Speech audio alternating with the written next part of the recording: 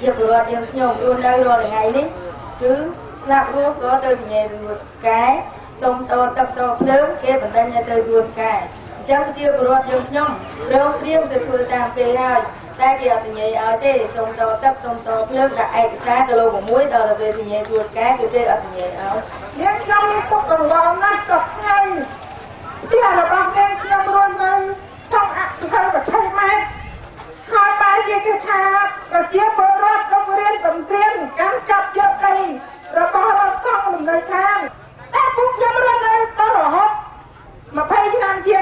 តាំងពីឆ្នាំ1986 87រហូតមកដល់ពេលនេះចាហើយពួកខ្ញុំមិនដឹងថារកដំណោះស្រាយយ៉ាងណាសុខប្រជាពលរដ្ឋរបស់យើងពង្រឹងឡើងហើយពួកយើងទៅសាមគ្គីគ្នាឡើងសិទ្ធិផ្ទះរបស់យើងមិនមែនឲ្យអ្នកណារបស់របស់យើងបានទេចាសូមឲ្យបងប្អូនរួមកម្លាំងគ្នា អន្តរាសូមបីថាយើងបណ្ដោះអាសន្នហ្នឹងគឺប្រជាជនរករៀនប្រធានដីរដ្ឋ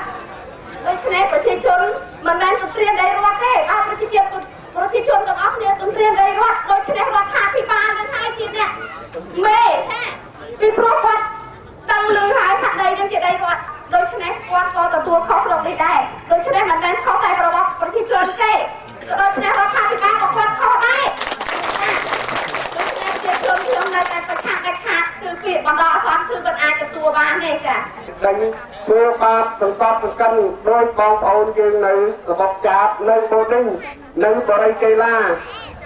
នៅបង្កក់យើងឃើញរូបភាពគឺមានការបង្ក្រាបបង្ខិតបង្ខំនិងដេញវាយ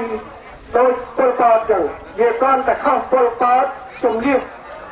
ទៅកង្កូនទៅវាយទាំងអស់គ្នាប៉ុន្តែគេធ្វើបន្តិចម្ដងគេធ្វើបន្តិចម្ដងគេធ្វើមកក្រុមកន្លែងនេះ គេគេដេញតែម្ដងដូច្នេះមកដល់ខ្ញុំនេះមានការព្រួយបារម្ភខ្លាចថ្ងៃក្រោយទៅគេសាងសង់ទៀតទៅមានការប៉ះពាល់បង្ក្រាបដោយបងប្អូននៅបង្កក់នៅបរិយាកីឡាចឹងដែរនាងខ្ញុំនៅសហគមន៍បរិយាកាសប្ថ្ងៃជាពលរដ្ឋនាងខ្ញុំទាំងអស់គ្នាមានកង្វល់អឺក្រុមហ៊ុនផានស៊ីអ៊ីមិចអ្នកស្រីសុយសុផានជាប្រធានក្រុមហ៊ុនគាត់បានធ្វើការអភិវឌ្ឍជាមួយនឹងសម្ដេចហ៊ុនសែន នៅសហគមន៍បរិយាកាឡាក្រុមហ៊ុនមិនខ្លាចសម្ដេចហ៊ុនសែនដែលជារដ្ឋមន្ត្រីទេរាល់ថ្ងៃខ្ញុំមើលទៅក្រុមហ៊ុនមានអំណាចជាងរដ្ឋមន្ត្រីទៀតក្រុមហ៊ុនចង់ធ្វើអីបានទាំងអស់អញ្ចឹងខ្ញុំសូមពៀងលាដល់សម្ដេចហ៊ុនសែនដែលជាឈាមជ័រជាខ្មែរដូចខ្ញុំដែរសូមជួយខ្មែរផងសូមជួយតែអ្នកមានពេកសូមអរគុណសូមជម្រាបលាសូមគោរពលោកស្រី អស់លោកទាំងអស់មានមីបងប្អូនកូនក្មួយដែលបានគុំនិយាយថាដីរដ្ឋយើងនិយាយថាដីប្រជាពលរដ្ឋវិញបានត្រឹមត្រូវប្រជាពលរដ្ឋរស់នៅ5ឆ្នាំក៏តាមច្បាប់តាមអនុក្រឹត្យអញ្ចឹងដែរវាគួរតែប្រជាពលរដ្ឋស្នាក់នៅប្រើប្រាស់ដីទីកន្លែងណារដ្ឋអំណាចរដ្ឋត្រូវតែទៅជួយ ផ្ដល់កម្មសិទ្ធិបញ្ជាក់កម្មសិទ្ធិឲ្យបានត្រឹមត្រូវមិនមែនចេះតែអាងថាប្រើពាក្យថាដីរដ្ឋនឹងដើម្បីនឹងបន្ទិញប្រជាពលរដ្ឋដូចដូច្នេះធ្វើឲ្យប្រជាពលរដ្ឋមានជោគវាសនាមិនស្មើគ្នាជោគប្រជាពលរដ្ឋនៅភ្នំពេញរាប់លានអ្នកប៉ុន្តែអកុសលអីសម្រាប់តែប្រជាពលរដ្ឋដែលគ្នា នៅតំបន់មួយចំនួននៅរាជធានីភ្នំពេញដូចគេដូចឯងដែរដូច្នេះខ្ញុំជា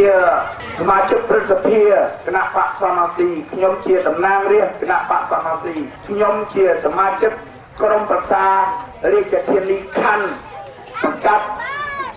ក្រុងរបស់គណៈបកសមាស៊ីខ្ញុំនឹងមិនអនុញ្ញាតឲ្យមានការបណ្ដេញ មានការបង្ខំប្រជាពលរដ្ឋឲ្យចាក់ចេញពីលំនៅឋានពីដីធ្លីរបស់ខ្លួនទេបញ្ហាដែលគណៈបកសង្ស៊ីបានសម្រេចចិត្តគឺថាត្រូវតែការពារបងប្អូនត្រូវតែផ្ដល់កម្មសិទ្ធិឲ្យបងប្អូនអឺត្រូវតែយកដីរដ្ឋនេះមកបំរើបងប្អូនប្រជាពលរដ្ឋដើម្បីមានការស្នាក់នៅនិងប្រកបរបរដើម្បីចិញ្ចឹមជីវិតតទៅ